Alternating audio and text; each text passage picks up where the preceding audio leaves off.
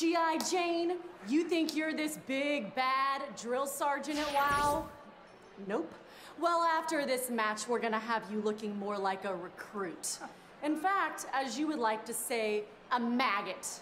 You see, the Classmaster here is prepared to take you to school and give you a formal education on who the true IQ superior is. Mm-hmm. That's right. I'm gonna make her read a book. Come on, let's this. We got this. Come on. Just gonna read this book cover to cover.